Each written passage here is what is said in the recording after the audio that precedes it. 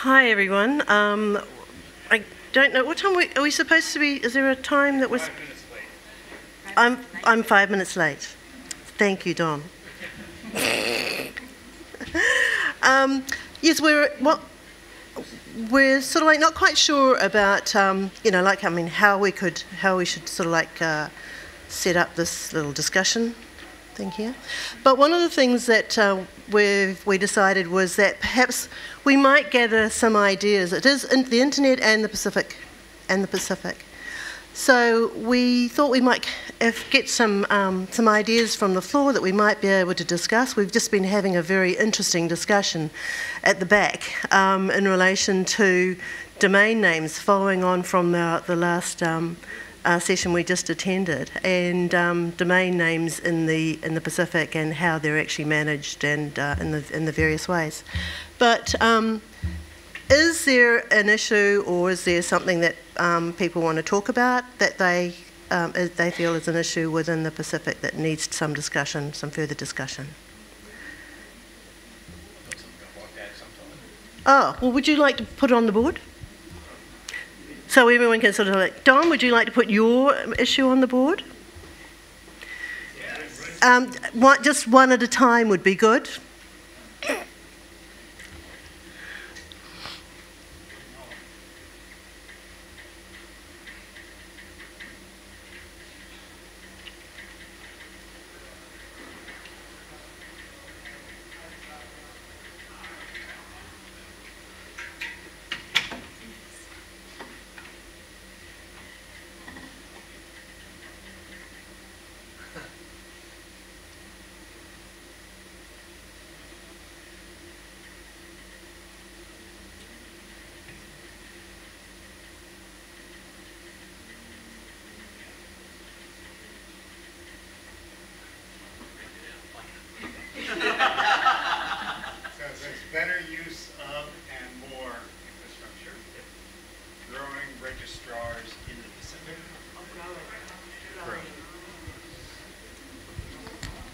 Sure. You don't like? Oh, well, I can read it much easier from here than back there.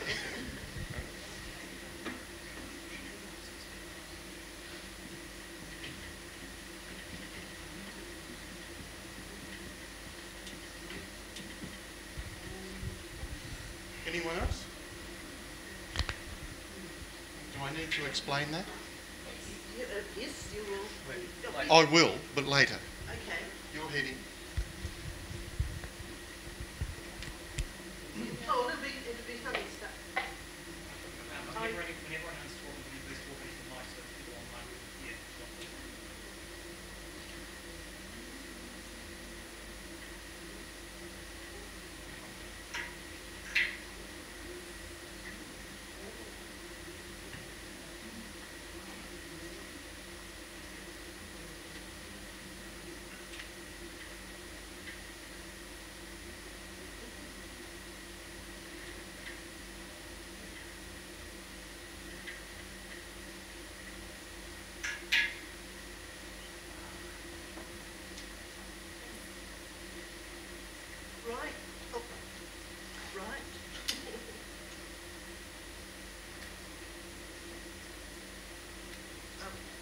Okay, let's start from. We should start from the top. You know, usual.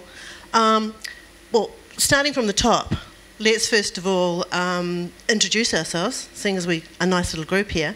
Um, okay, I'm Maureen Hilliard. I'm um, temporarily facilitating this um, this session. I was hoping that we'd um, have some of our other team here.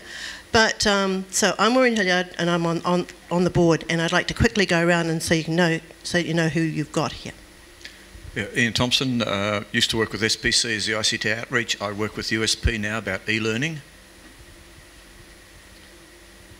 Uh, I'm Janine Eastwood. I'm just from Squ- I'm from Squiz, but I'm just here on my own recognizance today.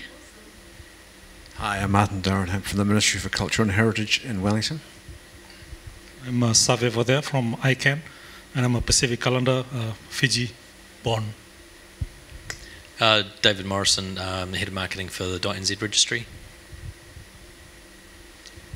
Talofa lava, I'm Sonia from Newmarket School. I'm a primary school teacher with an interest in Pacific, being Samoan. Hi, I'm Shuri. I'm from Fiji. I'm representing the private sector, but mostly as a tourism technology.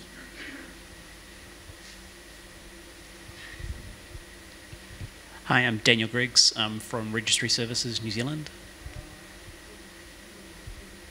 Same company as David. I'm Tuatse, I'm member of PIC-ISOC.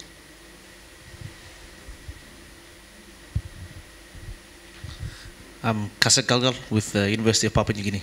I'm also a Papua New Guinean. Thank you. I'm Brian Louis Gung. I recently spent a couple of years in the Pacific on telecommunications regulatory issues, but here today I'm just a private interested individual. Uh, I'm Navi from uh, Fiji, uh, representing the operator from Fiji. I'm Kara Hill, a recent graduate of Enspiral Dev Academy in Wellington. Um, Olivia Badley, also a recent graduate from Enspiral Dev Academy. Uh, Malo Lere, I'm Mediana Tongapia I'm from the Alexander Turnbull Library, and I'm also the president of the Pacific Information Management Network. Hi, I'm Kara Sefa-Weaver. I'm the Regional Coordinator for Computers in Homes in Auckland under 2020 Communications Trust. I'm Don Hollander, and I've got a bookshop in Wellington. And ex um, General Manager of APTLD. Sorry. Kia ora, um, Mark Osborne from Core Education. Tom from Wireless Nation. Just a few more. Uh, Frank Williams from Install Broadcasting, Digital Signage. Yes, Sakai Manoa from University of South Pacific, Suva Fiji. Well, thank you very much because what it does, it gives us an overview of um, the, you know, the wide range of um, people we've got here and who can um, contribute to the discussion points which have actually been um, put up at the moment. The first one was actually raised by Ian. So, um, Ian, would you like to sort of like So it, comes both from the uh, Pacific Islands ICT Ministers meeting that was held in Tonga last month, but also at that meeting there was a launch by the Pacific Regional Infrastructure Organisation run by the World Bank. Uh, and that report highlighted the social and economic benefits of ICT in the region. And uh, for those of you who are on the, on the PIC-ISOC listserv, you'll see that I've ref referenced that before. But uh, an interesting conclusion that they came to was that we seem to be doing relatively okay about rolling out infrastructure.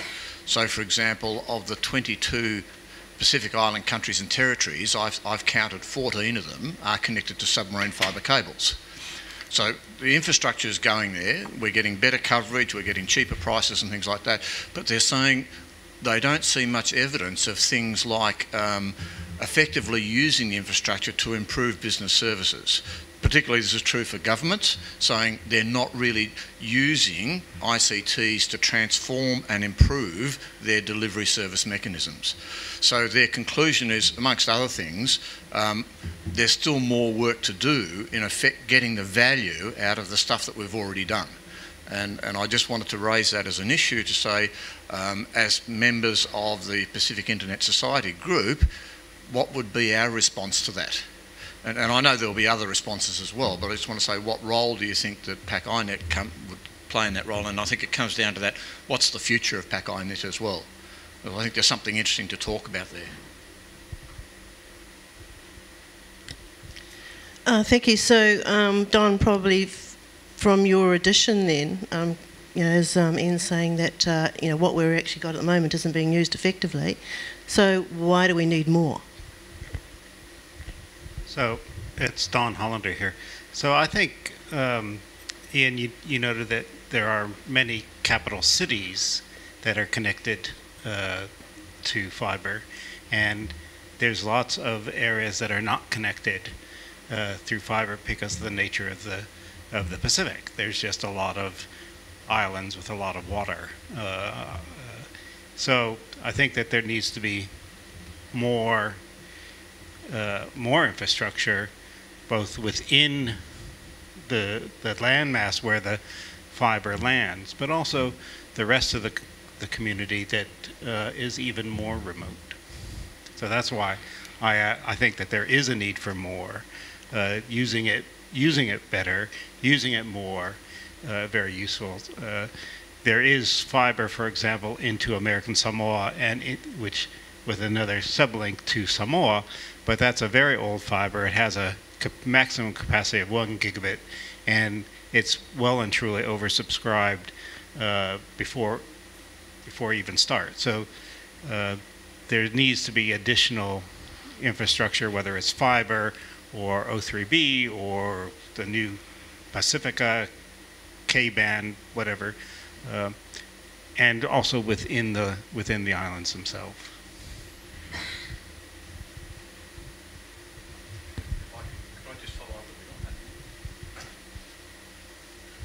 So I, I think, Don, that there's a lot of stuff happening in, in those areas. For example, a number of telcos are now, with the help of the World Bank and the Asia Development Bank, looking at universal access programs, and, and, I, and I think they're valuable and they must continue, and we must do a lot more. Um, and there's still a gap between what's happening in the universal access area and what's happening in the capital city. Uh, there's still some a lot of a lot of stuff to do in there, but, but I think um, just just flagging an issue to say, please don't only focus on the infrastructure. It's important, we've got to get it there, but we've got to use it well as well.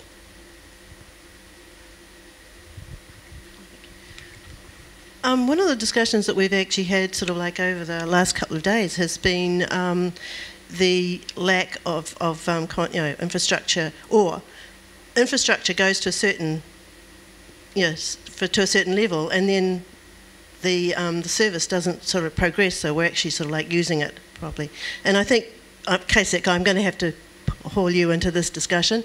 Um, a prime case is the fact that we, you know, for example, on our board, we have two members from the um, of the board from Papua New Guinea who can't even connect on using can't use Skype to um, to join our meetings, and the, the Skype continually drops off. So. Uh, we were actually discussing this earlier this morning about some of the, some of the, um, the issues. Um, Kasek, can you just um, perhaps explain some of those issues? Uh, yeah, in uh, PNG, con connectivity is still a bit of an issue, and it's mainly the main centers that are connected to the internet. And still, then, um, the reliability of that connection is still a bit of an issue. And probably I'd say the main issue is probably the cost.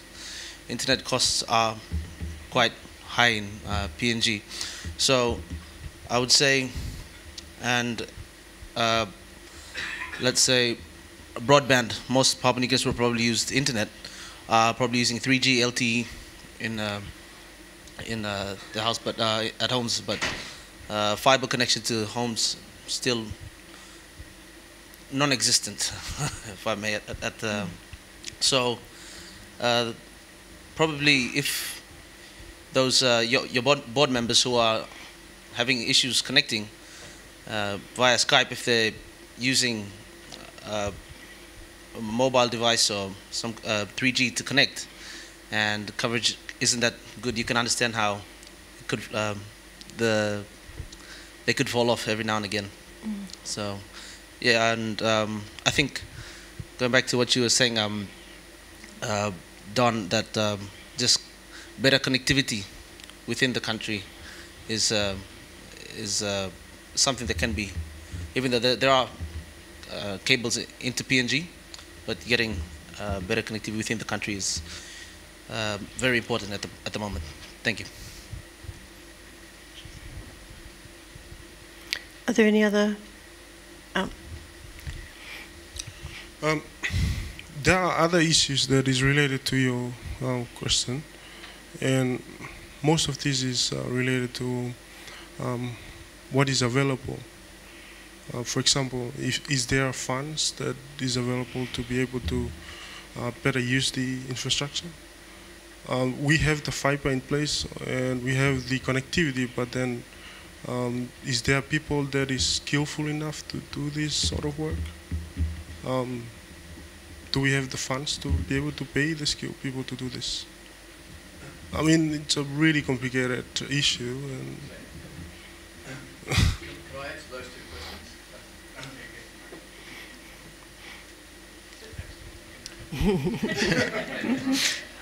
so, um, to answer what most people see as the most pressing problem is, is their funds, um, the World Bank is saying we've invested in this infrastructure and we're not getting good return on it.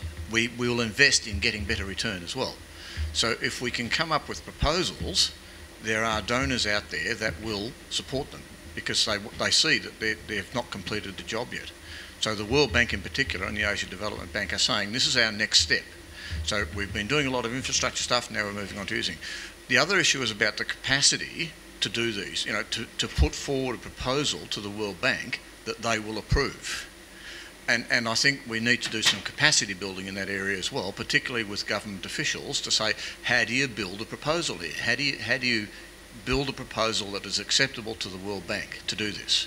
And I think there's, a, there's some stuff that we're talking about now about putting in place some capacity building uh, programs that would help government departments generate an e-government proposal that will be acceptable to the World Bank. Maybe this is a, uh, a topic for later, but um, and stop me if you want to make this a topic for later. But um, I know how to program, and I grew up in a white middle class household, and I think I'm the pro- the uh, the product of my privilege in that regard. But um, and so I have done quite a lot of volunteer work with um, helping other people who didn't have access to that privilege to to learn how to use the internet to become programmers, to become uh, people who can leverage that infrastructure that they've been given or that has, has been made available um, and learned how to use it to express themselves and to enrich the communities and to en- literally enrich themselves. Um, so I was very heartened when I talked to Ian earlier um, to hear that there were volunteer organisations who were um, working to actually um, teach people how to be programmers and to leverage that infrastructure. And I'd be really interested later in talking to anybody who um, who either knows of any of those programs that I can volunteer for or, or help support because uh, I think that it's incumbent on all of us to help each other um, to be better better users and, and uh, have access to, to using that infrastructure.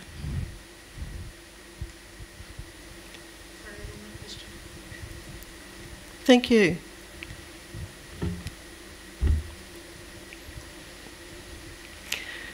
Um, I'd just like to add um, in between times is that there's actually, you know, um, when, when you consider the millions of dollars that has actually gone into capacity building and that within the Pacific, um, I think that, you know, that whole, you know, the, the area of capacity building is, you know, it's something that really, really need to look at is, you know, like, it, it's like it's gone into a big hole. Except you know, we get people like Etuati and others who actually have just gone that, you know, have gone that little bit further and doing something, um, you know, and but there's a lot of money that's been invested in capacity building. Yeah.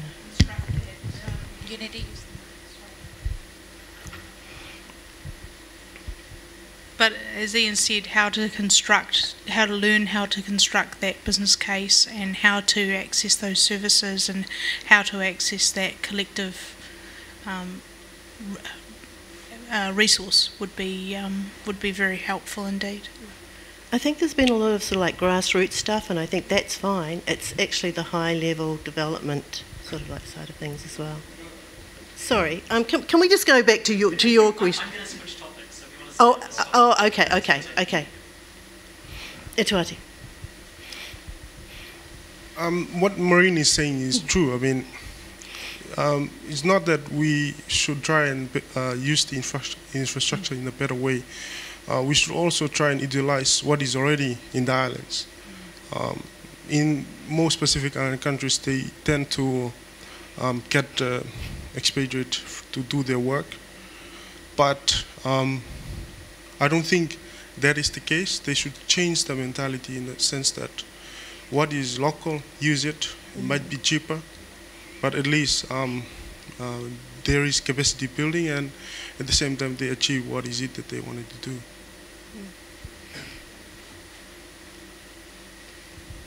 I, think there's some really important lessons to learn from all the capacity building that has been put into the Pacific. And uh, some of the, the, the, learnings that we're getting is that taking someone out of a, a department or a, a, job situation and bringing them over to some other place and giving them training and then putting them back into that environment again generally results in very little change. So what we need to be focusing on is how do we get things to change. It's not just building capacity, but it's change. So we're thinking about building in a change management program with the capacity building. So getting the team of people in the government department that looks after, say, passports. Let's get the whole team together. Let's get some of the local people that are there as well, the, the, the technical experts. Let's get the, uh, the, the donor community in there. Let's run a workshop for a couple of days and let's then do some online training as well together so that we can together develop a business case that we can all implement instead of flying in the guy from overseas and implementing something that's not sustainable and falls over in three months' time. So there, there's some really interesting stuff that we've learned out of what we've been doing in the past and we don't want to repeat those, those ones again. Over there. I'm going to put you out of a job now, aren't I? So mine's a bit of a follow on to that. Um, I think, um, sorry, I feel a lot of the time uh, with these uh, interventions that come in either from non governmental or from governmental interventions from outside the organizations, it seems like they come in, they do a project, and then they leave. Um, so my question is on a more sustainable side, um, there have been also commercial interventions as well, specifically about Digicel. Uh, and I haven't seen the results of Digicel moving into the Pacific. The last time I went to a PACNOG was when they were really starting to push into there. Um, so I'm just curious about the feedback as to whether or not people are seeing Digicel as improving the infrastructure in the islands or whether they are taking advantage of the resources there and exploiting them. it could be. It's a it's a balance. So. Just in, in response to that, um, Digicel has a certain reputation, not just in the Pacific but also in the Caribbean, uh, where they started, and it's not particularly complementary. But the fact is that there aren't that many other companies out there that will go into these situations and build a network and try to run a business. And certainly there are examples where, yes, they do seem to be taking advantage of a, um, their market leadership position. But again, if they weren't there, then the services wouldn't be there at all. And the quick statement to that is they are looking to create a sustainable change in those organization uh, in those countries, even if it's for profit. And is that necessarily so bad? Exactly that. I mean, the, the World Bank is pushing the opening up of uh, the telecommunications industries to competition. And that inherently means that they have to be able to make a profit. So you can't have one without the other. You've got to take the good with the bad. Um, Sakayo, do you have anything to add in relation to this, um, the, the question about capacity building and that, because it's actually quite important as part in your role?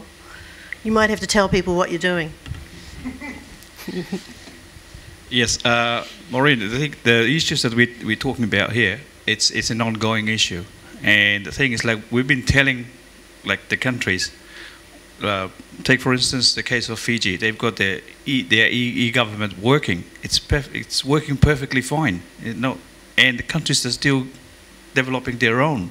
So we've been talking to them. Look, why don't you send people to Fiji, or ask the Fiji government to assist you in this regard?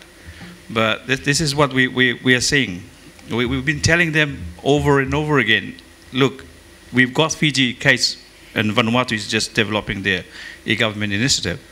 The Fiji government one is working perfectly fine. People who used to come to Suva to do their passports in like two or three years ago, they're now just going to a center in no sorry, spend a week there with their relatives, and then they head back to their, their villages. Uh, but but it's, it's something that we've been telling people, the countries, look, the other case is the case of Kiribati. They've developed their universal access uh, plan and said, look, why don't you just talk to Vanuatu, who has done a, a fantastic job with their UAP? And they, they didn't realize that Vanuatu has one. So it, it, it appears that people are, uh, countries are working in silos. So it, it, it, it's a pro- problem that we're facing in, in, in the Pacific. So we need to get our, our acts together and start acting like a, a Pacific region.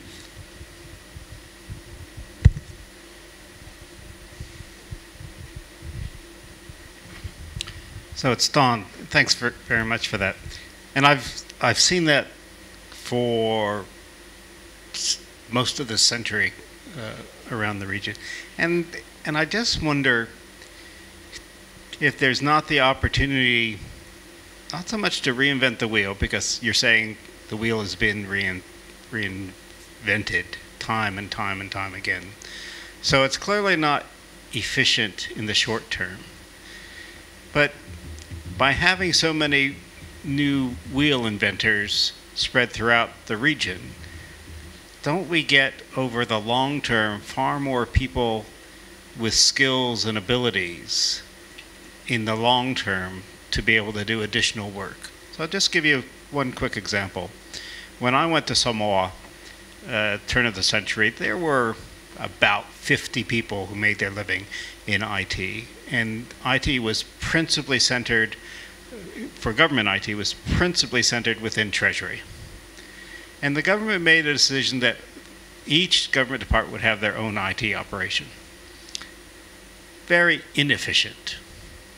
But two years later, there were several hundred people who made their living in IT, and they were weaning themselves off of contracted experts. So it took time, but there and and I haven't done a recent census in Samoa, but I suspect there are many hundreds of people now in Samoa who make their living, at least partly, through their IT, IT skills. So inefficient in the short term, but perhaps providing real world capacity building uh, experience in the longer term. I, I don't know what, I don't think it's a, it's a right or wrong answer, but it's just maybe explaining why people like Fiji uh, developed their own voter registration system, even though Samoa had developed one several years before with fingerprint technology for identification. But Fiji said, no, no, we're not going to.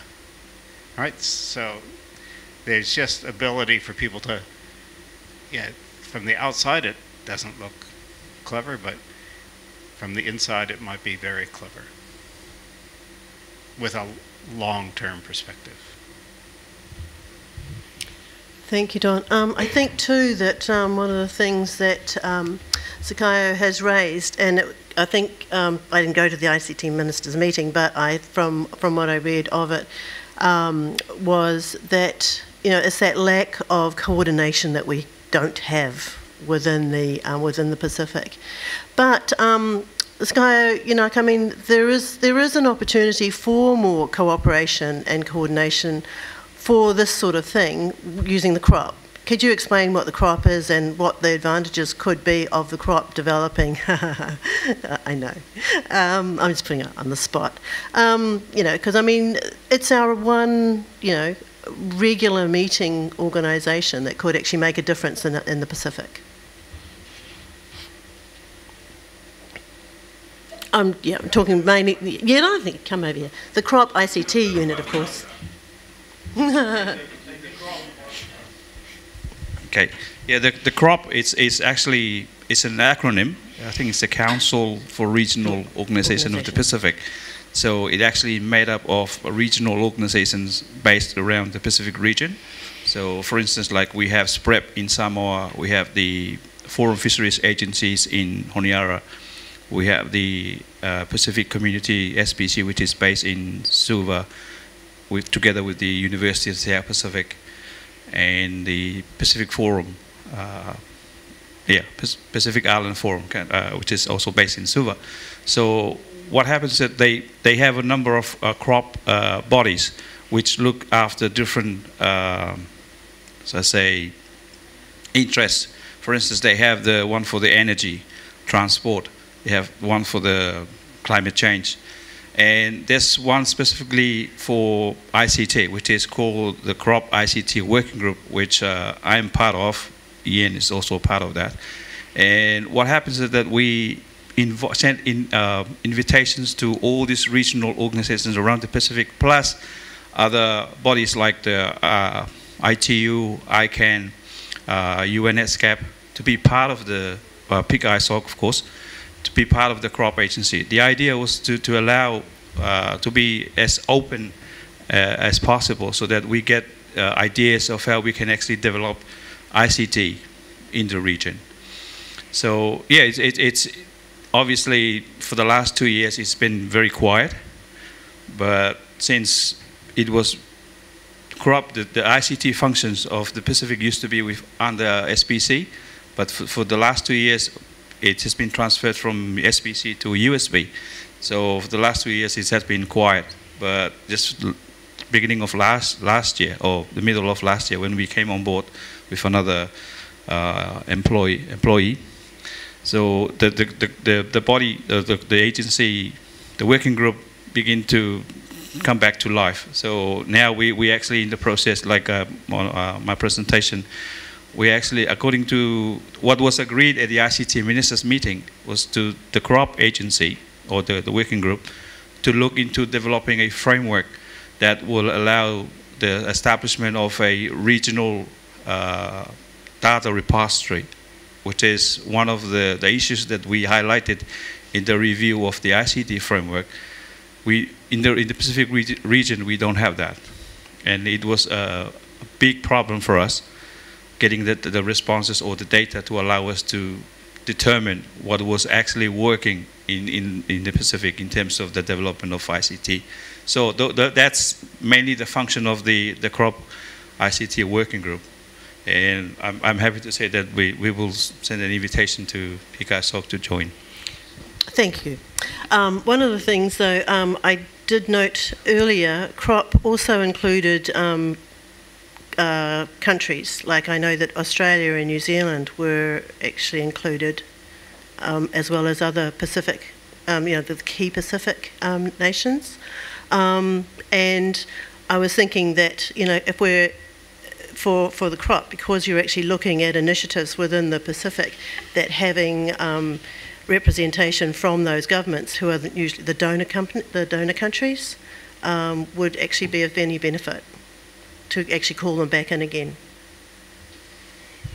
Well, the, the, the process is it's uh, they we have focal points for Australia and New Zealand based in, in Suva. So whatever we decide in terms of like what comes out of the crop working group, we pass those outcomes to these focal points.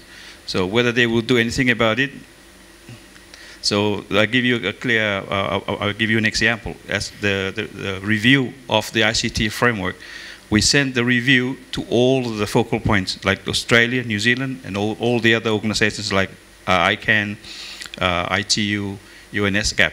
So they, they are all part of the, the, the process. So whether they respond to the uh, call, it, it's nothing much I can do, but it, it's as of now, the only country that, that came back to us was, I think, was New Zealand. You obviously didn't nag enough. okay. Um, actually, it's really interesting things we started on infrastructure, and we've actually sort of like going a little bit beyond that. Is there another topic that we can perhaps move on to, following on from the sorts of discussions that we've had, had just of late? Is anyone, would anyone like to sort of like add something? Oh. Um, now that we have discussed the issues, um, going back to your question, what can PIC-ISOC do to improve things?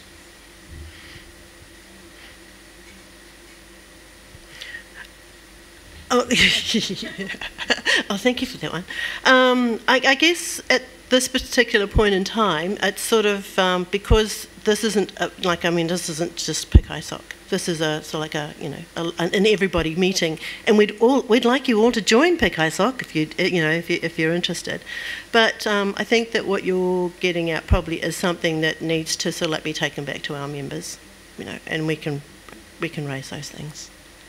But it's sort of like what can we do within the Pacific region to actually sort of like make a difference in the in the way of an internet. Um, Sheree, do you want to raise some of those the discussion, like for example, the discussion we were having before about about dot, dot Fiji, dot FJ.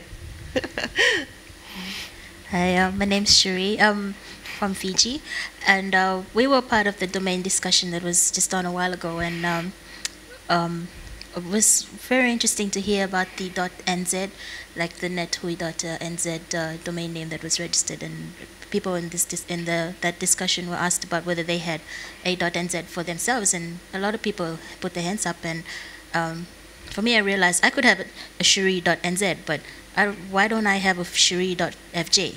I mean. and uh, we started a discussion, a few of us at the back there, about uh, what uh, what we can do to get something like that. And um, the, uh, the, answer that we got was that uh, it's USP is our main registrar, and USP uh, um, dot to get a .fj, so Sheree.fj, would mean that more and more people would have to be interested in having their own .fj um, domains for USP to say, okay, let's go down this road for a .fj. And uh, um, I guess why Maureen's asked me about that is because uh, we're wondering whether that's something that uh, PICISOC could take up uh, uh, on our people in this forum about, you know, we want to have a .fj. Um, is there somebody here that can help me get a Sheree.fj? And how can you help me get a Sheree.fj? And uh, what do I need to do to get a Sheree.fj? Well, I think um, Xavier might be able to contribute to that discussion. I think uh, Xavier for that from my camp, but what I'm thinking that you're trying to get at is the registration at the second level for the TLD, like uh, for country code top level domains, uh, op operators and registries and managers. Um, it's really entirely up to them. Uh, they have a policy setting body and they, they, look at how they can open up that space. So I'm, I'm sure that in New Zealand, like the DNC probably had done that, and um, they opened up the, the, second level for registrations. So in many of the Pacific Island countries, some of them have outsourced their functions to other registry backend, and their policies would be set up by either themselves or the other backend providers that they work together to open up that uh, second level. But in, for Fiji's case in particular, I would, as I was saying, like maybe perhaps they haven't had uh, demands from uh, the local uh, registrants who register under the at the third level to to to talk to USP, who is the registry, if uh, they can open up at the second level. So that's for them. It's a, it's a policy decision that they have to make. Uh, then again, I, uh, as as the local community for Fijians, you need to talk to the registry because then they will either open up or not. Can I just add to that? Um, I didn't know that I could get a Sheree.fj until I sat here and heard about the .nz one. And I'm sure that people in Fiji, if they heard that they could get um, an address like that for themselves and for their companies, I'm sure the big companies in Fiji would be very much interested in getting a .fj for their own companies. And it's, it's just a matter of uh, um, maybe USP needs to provide people in Fiji with that option. I'm speaking to anybody in USP here.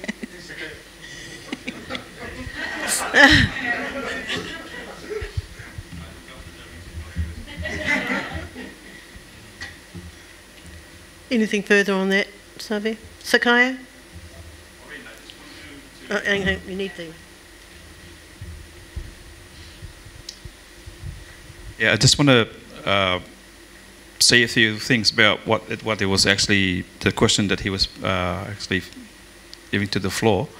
I think it's it's important that you know Peak PICISOC is in the Pacific, and we have a, a working group that is already functioning. It's working, it's, it's important that we come together as a group and work uh, in, in collaboration with each other. If, if, you, if you try and, and, do something like out of the, the working group, then you, we, we, again, we come back to the step one, which is we're working in silos.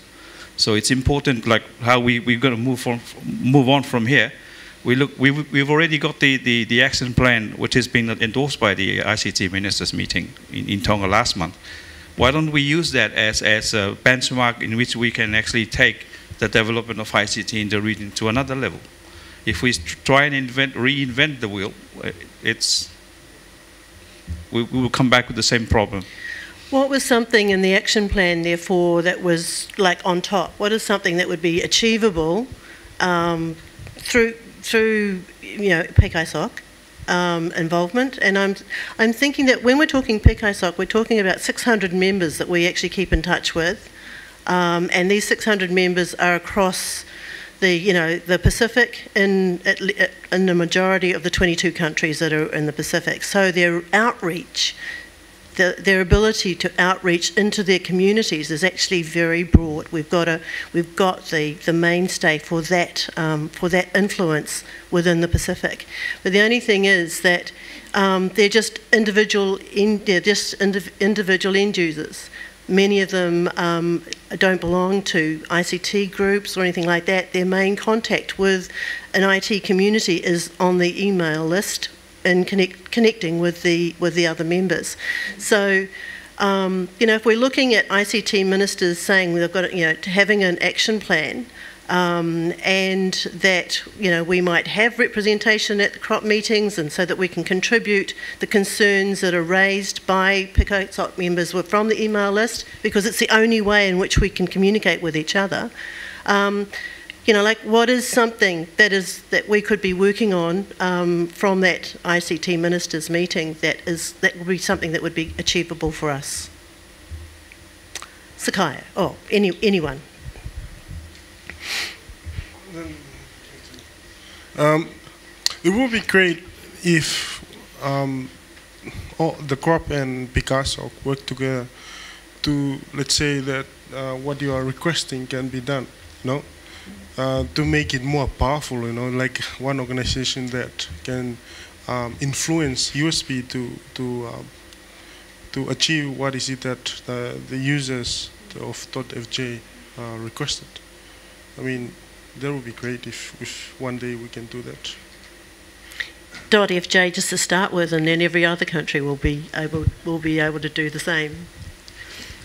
So, so this is not an answer to the question, but it puts it in context, saying that the crop agencies are intergovernmental agencies. Mm. So they've got official status, and they they have uh, a good way of interacting with people. Uh, ISOC, PIC ISOC comes from the grassroots. Mm. You can raise issues, but then it's very difficult for you to do anything with them. Mm. So if you feed them into that process, it seems like a really good thing to do. Mm. And, and when it comes to the question you said, what can we do? My answer is go read the, the framework, go read the documents, and come back to us and tell us what you'd like to do. Um, I'm, you know, that's, that's, that's your value contribution. So just let us know and we can work through these issues.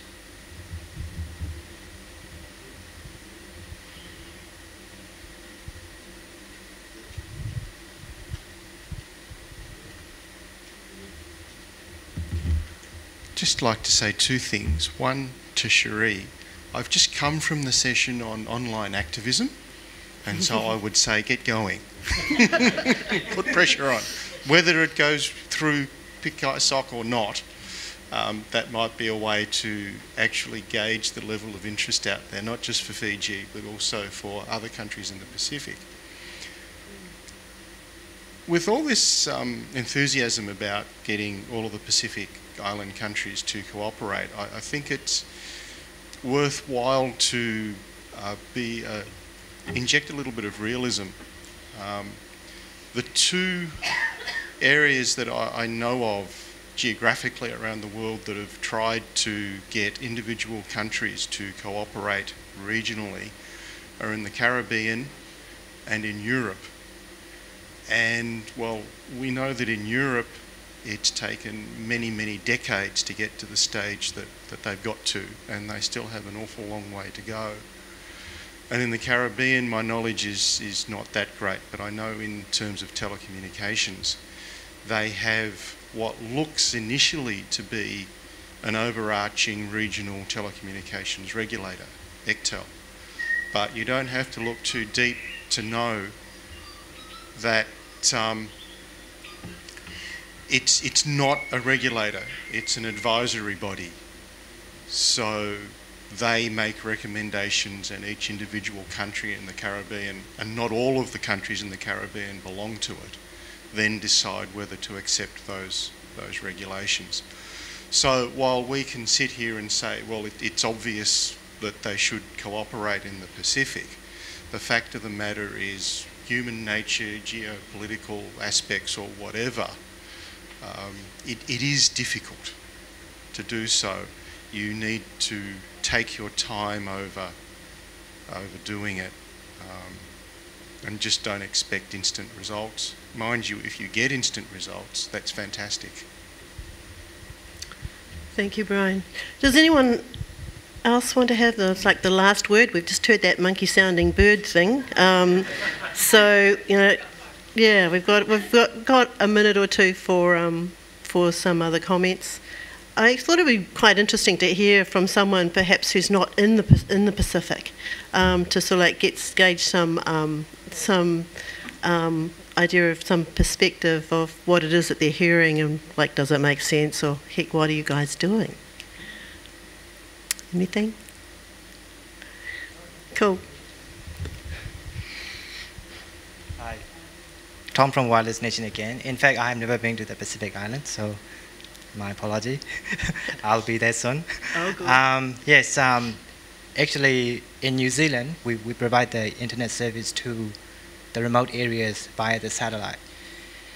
And uh, I know that Pacific has been um, promoting for Ka band satellite into the countries. And um, I just want to say that uh, it, from our perspective, in fact, we receive a lot of inquiries from the islands saying, can you come and do the um, satellite that you are offering in New Zealand, you know, for my motels or hotels and stuff like that all the time. And we normally say that, sorry, we haven't got the service there just yet.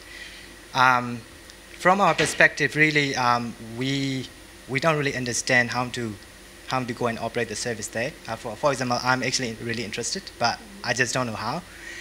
Uh, for example, I also know that um, over here at the moment, for example, we are trying to uh, resolve the problem with the black spots, um, mobile black spots, and uh, we have a new technology called small cell, which can have a coverage of up to about 5K stretch, and you can get you can operate 4G, uh, 4G yes, so 3G slash LTE um, using the um, satellite as a mobile backhaul. So effectively, you can drop these low-cost cell phone network into any part of the country, and then you will have instant coverage. And that if you have a good deal with mobile operator and as well as the service, service provider in the area, you can effectively have mobile service for the voice communication plus the data on top. So it means that you might be able to have like really low cost data plans, um, you know, um, offer immediately. And, and, and, and that, uh, uh, I mean, for example, like the, for the Pacific Island, perhaps we can have a gateway in New Zealand, so internet gateway over here, or, or in Australia. And then we can then use the very wide satellite footprint using KU band or KA band, and then we can just beam down to the different islands, and that you can have the alternative redundant cellular slash a wireless architecture uh, you know, network immediately. It is possible, and it is actually quite cost effective. And that it is really new. It is 2014 slash 2015 technology. So it is available out there. Uh, even in New Zealand, it is really new to us, and that we are, we are really trying to convince the regulators and mobile operators that it is a way to go. It has been done in Japan. Uh, they deploy over 4,000 cell sites like that. And then after that, the tsunami hit.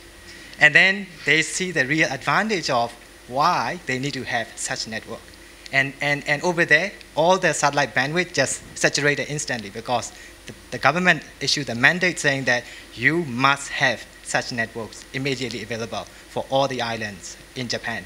Uh, otherwise, what is going to happen when there is a earthquake like that again, and that which is going to disrupt all the terrestrial communication, right? So I just want to say that from our perspective, uh, in New Zealand, I, I'm sure that there are a lot of uh, innovative operators who are interested to participate in solving the problem in the Pacific because we are the neighbors.